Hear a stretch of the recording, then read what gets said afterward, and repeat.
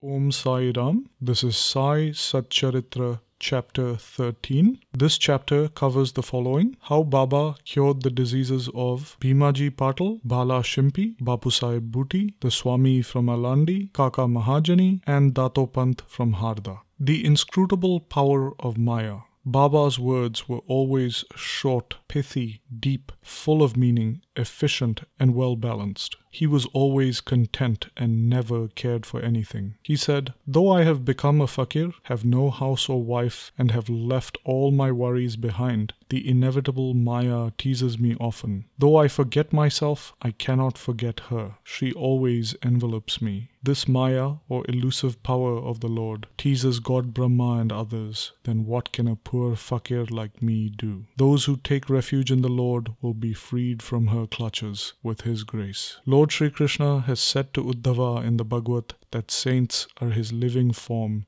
and hear what Baba said for the welfare of his devotees. Those who are fortunate and whose demerits have been exhausted take to my worship. If you always say the words Sai, Sai, I shall take you over the seven seas. Believe in these words and you will certainly benefit. I do not need any paraphernalia of worship, either eightfold or sixteenfold. I am present where there is complete devotion. Now read how Sai Baba protected those who surrendered themselves to him. Bhimaji Patil Bhimaji Patil, a resident of Narayangaon, suffered in the year 1909 from a severe and chronic chest disease which ultimately developed into tuberculosis. He tried all sorts of remedies, but to no effect. Having lost all hope, he ultimately prayed to God, O Lord Narayana, please help me now. It is a well known fact that when our circumstances are well off, we do not remember God. But when calamities and adversities overtake us, we are reminded of Him. So Bhimaji now turned to God. It occurred to him that he should consult Mr. Nana Sahib Chandorkar, a great devotee of Baba. So he wrote him a letter with all the details of his malady and asked for his opinion.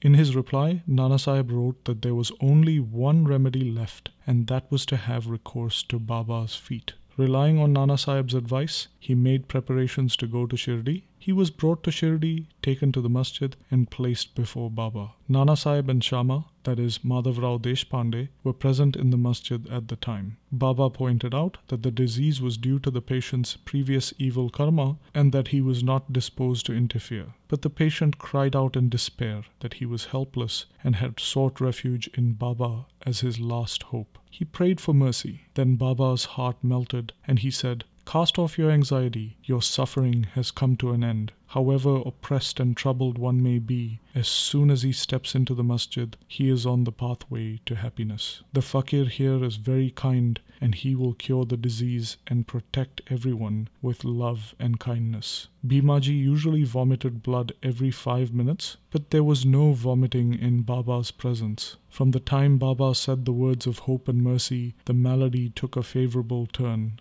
Baba asked him to live in Bhima Bai's house, which was not a convenient and healthy place, but Baba's orders had to be obeyed. While he was living there, Baba cured him through two dreams. In the first dream, he saw himself as a boy suffering the severe pain of a flogging for not reciting his poetry lesson correctly. In the second dream, someone caused him intense pain and torture by rolling a stone up and down over his chest. With the pain suffered in these dreams, his cure was complete and he went home. He often came to Shirdi, gratefully remembering what Baba had done for him and prostrated before Baba. Baba did not expect anything from his devotees, only grateful remembrance, steady faith, and devotion. People in the state of Maharashtra celebrate the Satya Narayana Puja in their homes every month, but it was Bhimaji Patil who started a new Sai Satya Vrata Puja instead of the Satya Narayana Vrata Puja when he returned to his village. Bala Ganpat Shimpi. Another devotee of Baba's, Bala Ganpat Shimpi, suffered a lot from a seemingly incurable type of malaria. He tried all sorts of medicines and concoctions, but in vain. The fever did not abate, and so he ran to Shirdi and fell at Baba's feet. Baba gave him a strange remedy. He said, Give a black dog a few morsels of rice mixed with yogurt in front of the Lakshmi temple. Bala Shimpi did not know how to execute this recipe, but he went home and found rice and yogurt and after mixing them together, he brought the mixture near the Lakshmi temple, where, oddly enough, he found a black dog wagging its tail. He then placed the mixture before the dog. The dog ate it, and strange to say, Bala got rid of his malaria. Bapusaheb Booty. Bapusaheb Booty once suffered from dysentery and vomiting. His cupboard was full of patent drugs and medicines, but none of them had any effect. Bapusaheb became very weak because of the purging and vomiting and therefore was not able to go to the masjid to receive Baba's darshan. Baba then sent for him and made him sit before him and said, Now take care, you should not purge any more. And waving his index finger said, The vomiting must also stop. Now look at the force of Baba's words. Both the maladies took to their heels and Booty felt well again. On another occasion, he had an attack of cholera and suffered from severe thirst. Dr. Pillai tried all sorts of remedies, but they gave him no relief. Then he went to Baba and consulted him about what to drink to allay his thirst and cure the disease. Baba prescribed an infusion of almonds, walnuts, and pistachio boiled in sugared milk. This would be considered a fatal aggravation of the disease by any other doctor or physician. But in implicit obedience to Baba's orders, the infusion was administered, and strange to say, the disease was cured.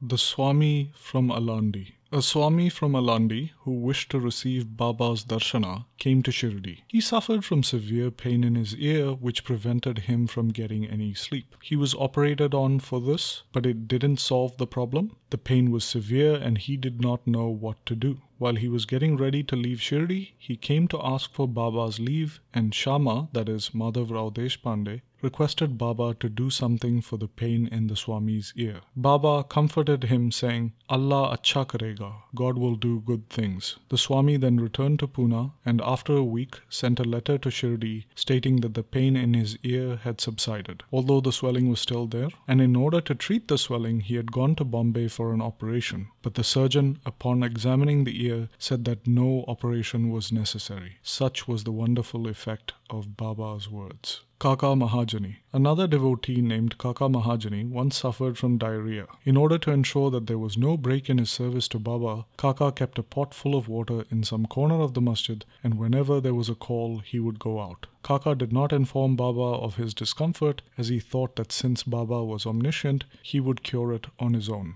The work of constructing the pavement in front of the masjid was permitted by Baba. But when the actual work began, Baba got wild and yelled loudly. Everybody ran away, and as Kaka was also doing the same, Baba caught hold of him and made him sit there. Amidst the confusion, Somebody left a small bag of peanuts. Baba took a handful of peanuts, rubbed them in his hands, blew away the skins, and made Kaka eat them. The cleaning of the nuts and making Kaka eat them went on simultaneously. Baba himself ate some of them. When the bag was finished, Baba asked him to fetch some water, as he was thirsty. Kaka brought a pitcher full of water. Then Baba drank some water and made Kaka also drink some. Baba then said, Now your diarrhea has stopped, and you may attend to the work of the pavement. In the meanwhile, other devotees who had run away returned and started the work, and Kaka, whose motions had stopped, also joined them. Are peanuts medicine for diarrhea? According to current medical opinion, peanuts might aggravate the disease and not cure it. The true medicine, as in other cases, were Baba's words. Dattopant from Harda.